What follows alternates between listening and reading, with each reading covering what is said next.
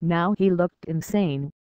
November 27 John and Brian have discovered to their horror that their jailers are Islamic Jihad, Iranian-backed experienced kidnappers who are known to be prepared to hold hostages for a very long time.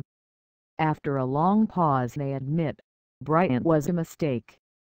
February Brian is very ill, enduring vomiting and diarrhea while John looks after him. April 17 to mark the second anniversary of his kidnap.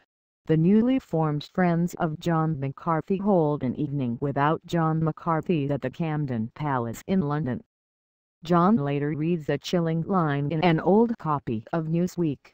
The Rushdie affair cannot help but set back hopes for an early release for the Western hostages in Lebanon. Once again Brian and John are alone, as Frank Reed, Terry Anderson and Tom Sutherland were moved at the end of last year.